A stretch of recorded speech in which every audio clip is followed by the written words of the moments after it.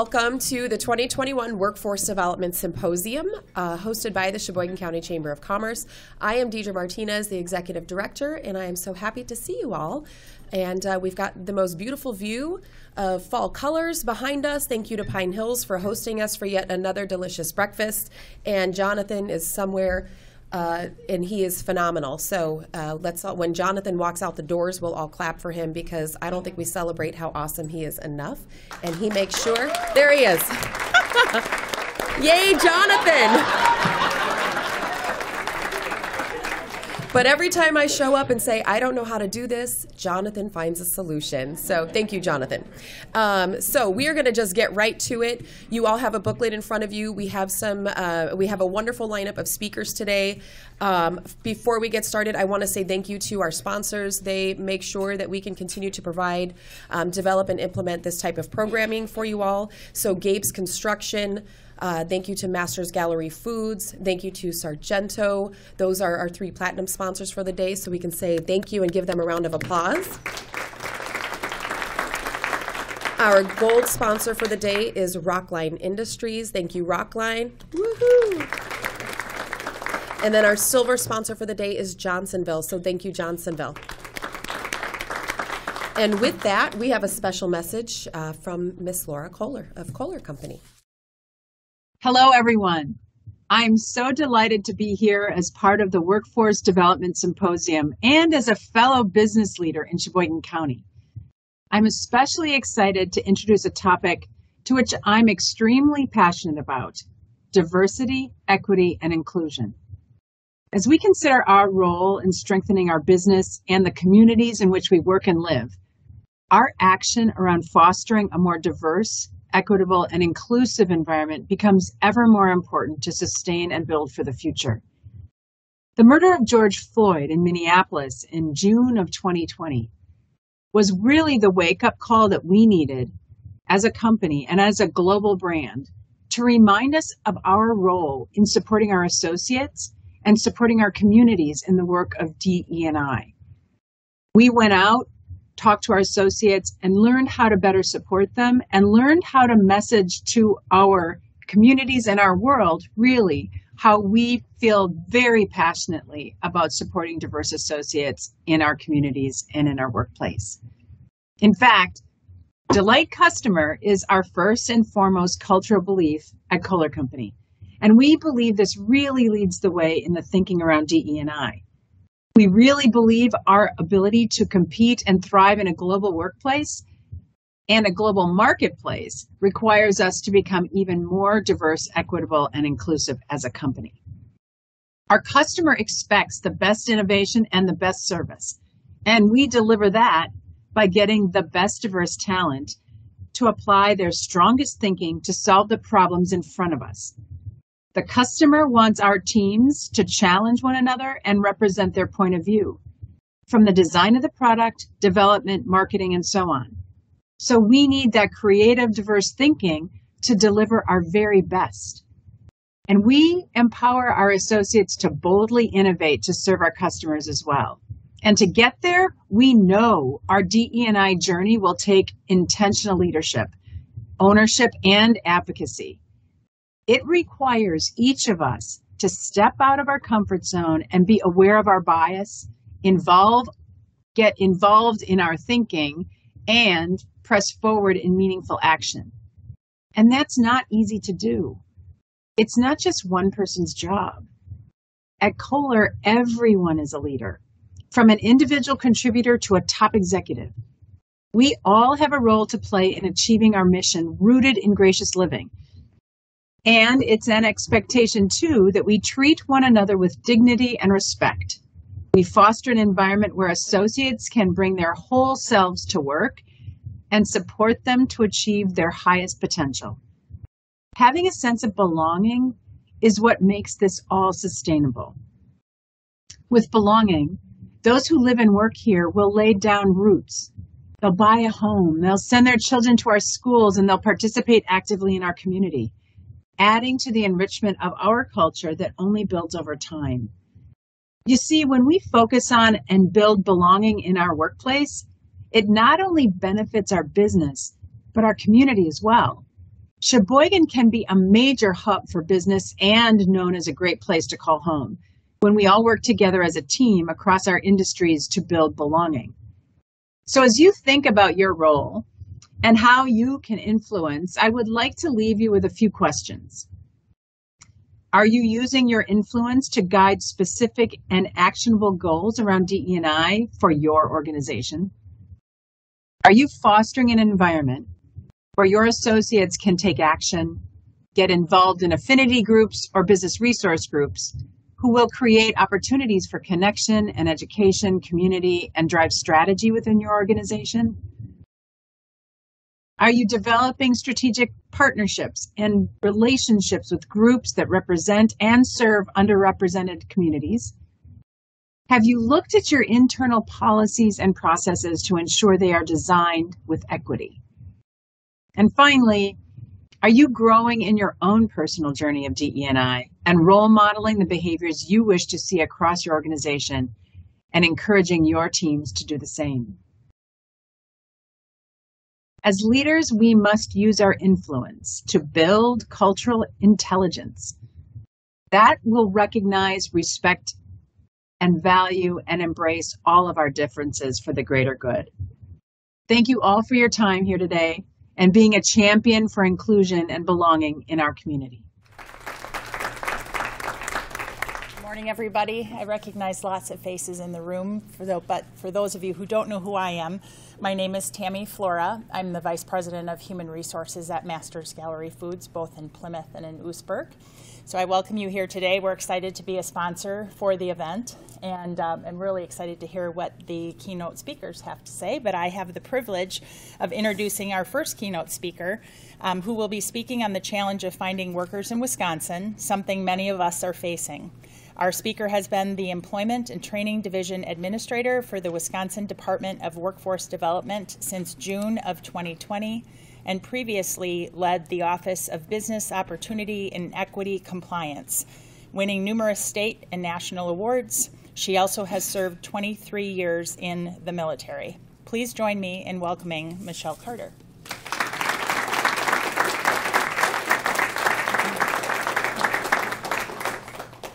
Good morning. I'm, uh, I have to figure out how to manage. I'm not usually scripted, um, and I usually talk loud. So I'm going to just work with me a little bit, please. So again, thank you very much for inviting me, although I was the second choice. they wanted our secretary, our secretary designate, Amy Pechacek, but, um, but our secretary really does regret that she cannot participate. But I um, promise you that we are very interested in any opportunity to engage business and really um, bring in our local partners to make sure that we are fulfilling our mission. So um, I want to tell you to look in this book, please, because um, I, I don't want to use a PowerPoint. I feel like sometimes that can be a little restrictive, right? So if we go to page five in the book there, that's uh, that's I'm going to follow that PowerPoint. So if you need to, if you're thinking, what did she just say? You can go back to that, and so that'll be a reference point for you. Okay. So the challenge of finding talent. So overall, the trend in the workforce is that we have our growth is declining. Wisconsin's labor force may actually decline by 2035. So the retiring baby boomers, right? The slow population growth. I mean, we've been talking about that for a while. The division that I uh, lead is the Division of Employment and Training, and we actually have a labor market um, analyst. We have a whole section of economists that are constantly looking at the data. And we've been saying for a long time that the labor shortage was coming. The numbers of people getting out there in the workforce was continually decreasing. So we knew that before COVID. But COVID exacerbated all those things, right? We also know that the situation is true not only in Wisconsin, it's also true for the upper Midwest, much of Western Europe, and even China. So we know that there's global competition for talent right now. And we didn't used to be in that same area, right? So we know that a skilled workforce has been an existing demand even before the pandemic and in almost every industry, occupation, and geography. So before the pandemic, employers were struggling to fill open positions, looking for skilled labor. We're looking at the influence of advancing technologies and the aging population, right?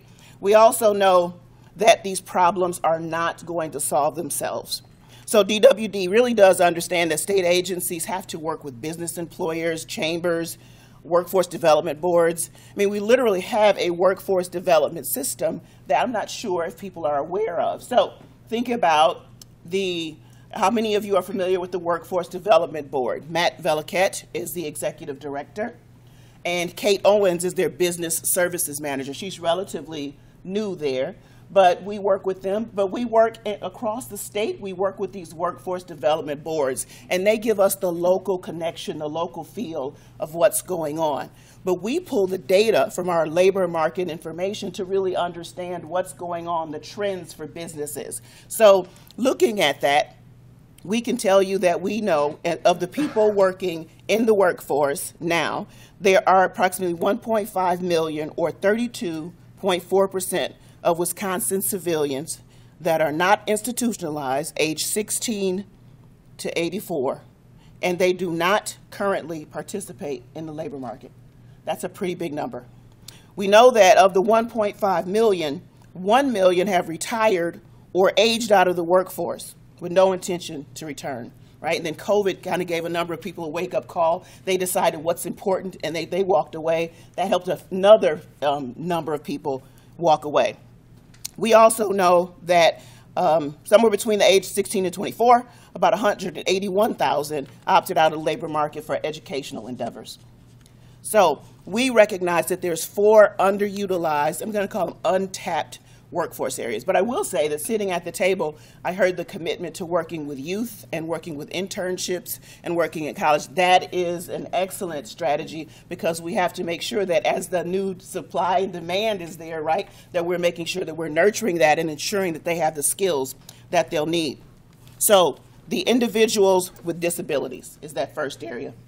We have learned that we already we have a division of vocational re rehabilitation, and they actually have counselors who do assessments with individuals, and they work very carefully with them to understand what their situation is, right, and to find out what they need to be able to get into the workforce and be more productive. So individuals with disabilities are 182,000 residents that we have that are unattached, unattached, excuse me, to the labor force.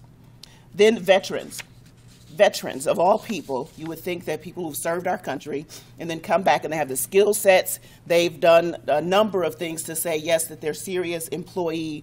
Um, but yet we know that our state veterans population has a lower labor force participation rate than the rest of the state, and their unemployment rate is higher than the unemployment rate for the state. Now that seems like a disconnect. So we know that that too is an opportunity justice involved persons. So we know with our Department of Corrections, some of the, we have almost 9,000 people who are released every year, but we know that there we have our minimum security, medium security, different security levels, but we're actually in at least 10 job, each, at least 10 facilities across the state. We actually have what we call a job lab. So we're actually making sure that individuals who will be released within the next six months are getting some training. They're connecting to our job center network, the computer systems, and being able to prepare for those high skill or in demand job opportunities. So, based on that kind of data driven research, we know that these four groups are kind of the largest or the low hanging fruit. So, we want to use our resources to help you connect with these four groups. So our business services, we've been had a business services unit, and that business services unit is an integrated unit. That unit actually, um, it includes veteran services, where we have veterans representatives that again cover the state, and they're working with individuals who are being, uh, anyone who is transitioning out of active duty military. They actually, most of them receive a, an outgoing session that tells them about the workforce in the area that they say that they want to return to. So for the soldiers, so that outgoing session is very helpful for them. So our veteran services people connect to them as well as local veteran resources. We also have our Bureau of Apprenticeship Standards, which is in our unit. Now, a apprenticeship is an earn while you learn process. We work with the trades, we work so industry, government, trades, and community based organizations are working together. In apprenticeship, we actually have certified pre apprenticeship where employers can, if they believe, so if community based organizations have a group of recruits and they work with employers who say that they have a demand, they can craft or customize training that will give them the pre apprenticeship skills and actually connect to registered apprenticeship. And we also have a youth apprenticeship uh, area, and all of that is also accessible. And the youth apprenticeship area engages youth in 11th and 12th grade, and it allows them to kind of do the work co op and leave uh, leave school and they get credit. So they're getting some educational credits, taking some curriculum, and then they also are leaving school to be able to work. So they have that connection to the workforce and again start working on their skills. We, um, so of that integrated unit, the veteran services, the apprenticeship services, it really does help. And then the Workforce Development Board is also one of the uh, partners there. Job service is obviously a key link. So I would hope that, is anyone here familiar with Jolene Wilkins? Yes, and so Jolene is our business services manager, her, our supervisor there, and she's usually engaged. She told me that she would usually be coming to these events, but with our staffing issues, uh, we have a lot less people as well. Um, so she could not couldn't be here this time. Um, but we also have, again, as our vocational rehabilitation person, we also have a representative there. And all these people are trained, they're experts, they're out there, they're in the community and working with those target populations. So just know that we are working to be, um, how do I put, we are making sure that we are tailoring our services. So on the conversation of finding talent, we are really trying to customize what we do. One of our mantras going forward is meeting people where they are, right? But we believe that one of the things we have to do first is make sure that you understand the services that we have uh, available. So the integrated service team, again, by, by contacting one person like Jolene Wilkins, you'll be able to get a number of your, you'll get connected and you'll get a lot of any of your questions answered. I would like to talk, let's see, I'm going to give you some examples of recruitment services and some things that you may or may not know about. One, we have a fidelity bonding program.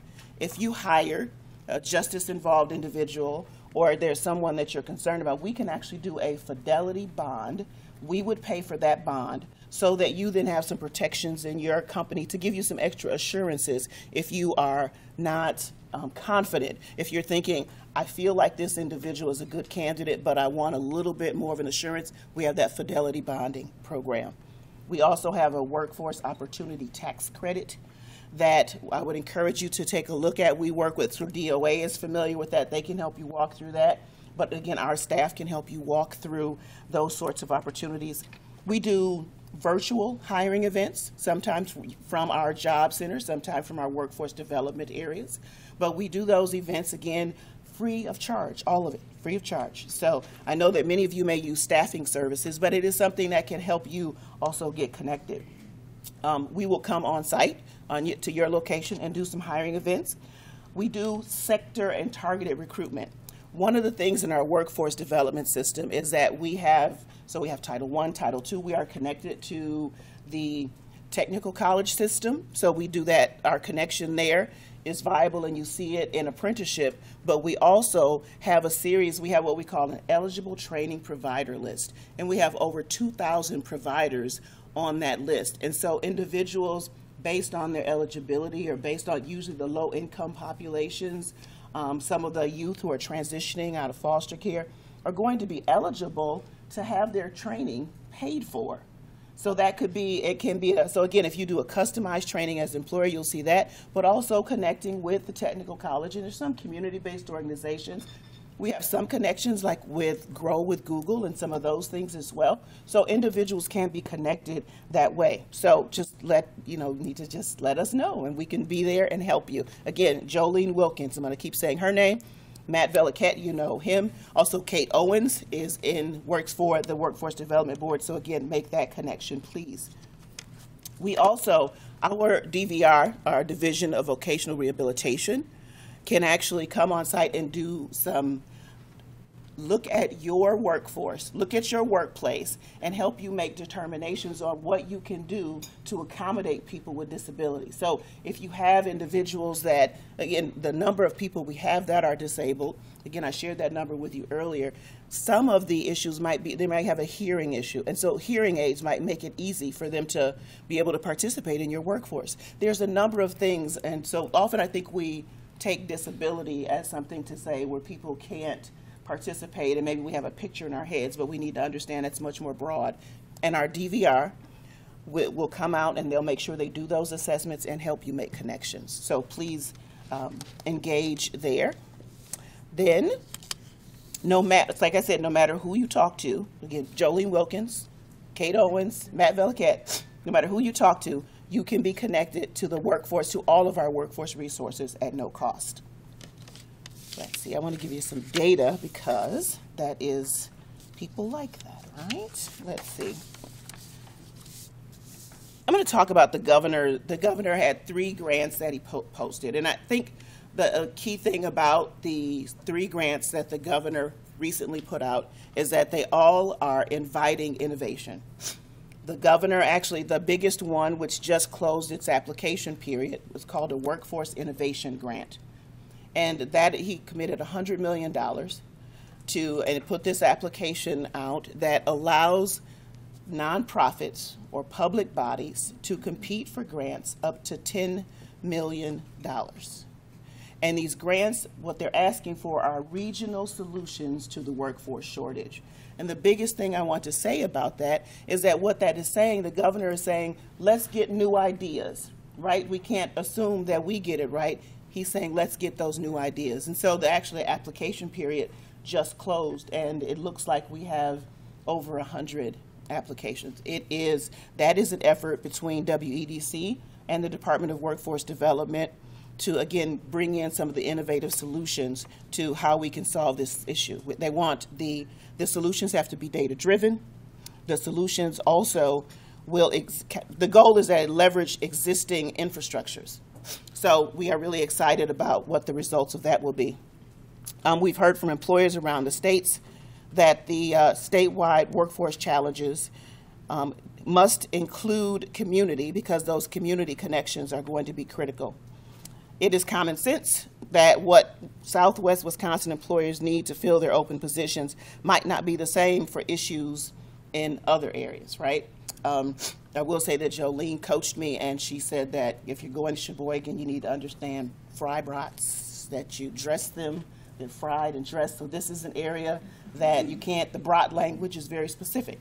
So the thing I would say about that is, again, that we recognize that really solving the workforce solutions requires that it's a tailored and customized approach. It's different across the state. And I, again, I want to say that the governor recognizes that as well. Um, so again, the, um, I do want to point out in that grant, one community might use the grant to support affordable childcare, which I know is one of your issues here, and another might use it to look at transportation infrastructure, right? So those grants will give that opportunity, and I do know from having read a little bit that you're interested in how you can be more inclusive. So again, just know, I hope that some of you, any, did anybody apply for any of those? Anybody familiar with that? Okay, very good. Um, let's see. Then the other grant was one called a Worker Advancement Initiative, and those were funds that went to workforce development boards. And what they asked each of the boards, again, was for some innovation and ideas for subsidized employment opportunities. Again, trying to connect individuals to the workforce, although those individuals might have some additional assistance needed. And that subsidized work at least will cover the minimum wage. But in that program, what we're looking for is, and it would be administered through DWD, working with the boards, but it's going to help people who've had those challenges with COVID primarily or post pandemic, really trying to help them get reconnected so they can be successful in the labor market. So making the connection, subsidizing that to limit the, the cost for the employer. And then finally, the, the last program that the governor supported was one called the Worker Connection Program. And this is one where the pilot that we are doing in WDA 5 and in the Milwaukee area. And that pilot is going to put what we call achievement coaches out in the community to build partnerships, again, trying to meet people where they are and trying to get referrals where trust can be built. Some of our key partners right now are the uh, Wisconsin Literacy Community Action Program and the Boys and Girls Clubs, but really trying to put achievement coaches out in the community. And so we expect that to expand. And by having those individuals out in the community, the goal would be that there would be trusted referrals. For example, young people or an individual who, who usually comes to that place, then that the we expect that that community-based organization would be able to make some connections and say, this is a good person. Their only challenge is this. Can you work with them? Let's refer them to the right organization and not refer them like, here's a phone number, go and take care of it. Instead, say, let me take you here. This is how we make this connection and really leading them through. One example that that program would serve that we've talked about is when you look in the technical college system, um, black and brown people um, that are in the technical college student uh, system have dropped out at a greater rate than any others. And sometimes those are for financial reasons. But the oftentimes the individuals may not understand that they may be eligible for what I talked about that Title I assistance. They might be eligible for one of those programs and they would not have had to drop out. But because unfortunately the system seems to sometimes sets people up so you have to go to here or here, we are trying to reinforce a no wrong door approach, right? So we're trying to make our system more fluid instead of uh, choppy. And we also want to make people more aware of the workforce system and what the system can do for them. Did you all know that our job centers are tied to our workforce development centers and are tied to the technical college system? Did everybody already know that? Before I came to DWD, I did it. Did you know that the Bureau of Apprenticeship Standards, the Bureau of Apprenticeship Standards had a director that had been there for more than uh, 25 years? Some people didn't know that the Bureau of Apprenticeship Standards was part of the Department of Workforce Development. So again, we know that we need to make sure that we get out and help people understand what we can do to address the workforce shortage. I want to share some other data that it's uh, from our Bureau of Labor Statistics, the Federal Bureau of Labor Statistics. The and so there's a bunch of acronyms here, and I want to make sure that I get you get it right. So Wisconsin quits. The number of individuals who quit reached a series high in August of 2021 at 97,000 people. The United States, Illinois, and Iowa also reached a series high in the same month. That'll be in August. Wisconsin job openings are down slightly from the July 2021 peak to an estimated 214,000 in August 2021. Wisconsin hires are down over the month to 105,000. And again, the United States and all of Wisconsin's bordering states are experiencing a month over month decline. So we are seeing the numbers, national trends are saying that there are less people available, but we're hearing more and more creative solutions. We're trying to create, be, foster those solutions, again, through some of the governor's initiatives and the way that we um, do our work. Lastly, the, I told you, so I told you about the governor's initiatives. I told you that we have integrated services. Are any of you using, do all of, so you said, a few of you said you know Jolene, so you are working there. Are there any other, I guess, are there any initiatives that are going on here that you need additional support for? Are you maximizing, do you feel like you're maximizing the workforce, the existing workforce development system? Are you all in a place where you can reach out to Matt Valiquette or to Kate Owens or Jolene Wilkins? Do you feel that or have you had some challenges in that? Anyone? We have a really great relationship with Jolene, and so sadly she's not with us today, but we know she's very, very busy. Um, but I would say in our community we have a very strong relationship, thankfully. Um, as I understand that your business expansion, it's really been growing over the last seven years. Like in 2015 or so was probably your last kind of major employer leaving. It sounds like, again, from the table I sat at, that there's a number of really positive efforts. The investment in our youth is a huge thing, so it sounds like you already have that. Um, but we have really learned, and we are growing into really relying on those community partnerships and where trust already exists. The data is telling us we can't do things like we have been. We also know, just as uh, the uh, person on the screen said earlier, um, we're in a time where why would someone trust government, right? I guess from businesses side or from individual side, why trust government? So what we know that we need to do is build those relationships and build a brand that says that we are here, we are a helping organization. So that is what DWD is doing. We're relying again on data. We're working towards those data-based, evidence-based decisions, right? So we're pulling all the data in, making sure that we are responsive to what's coming up. And so we know that that requires your input. Uh, and I saw, yes, Jim, sorry. Uh, yeah, um, with the achievement coaches that are new, are they working with the Windows to Work at Department of Corrections and with the justice involved um, participants uh, on when they are reintroduced into the community, where those individuals can locate? Um, because it used to be that they have to automatically go back to their uh, original destination. And I'm, I'm just curious, because of Green Bay and the Milwaukee going up that corridor, if there's any opportunity for those achievement coaches to really help our employers with some of that reintroduction, uh, and rather than automatically taking majority back to uh, the southeast Uh, area. what we, what we want is for those achievement coaches to be very fluid and be able to support people wherever they are. But we do have a strong relationship with corrections, as I said, where we have job labs actually in a number of the facilities across the state.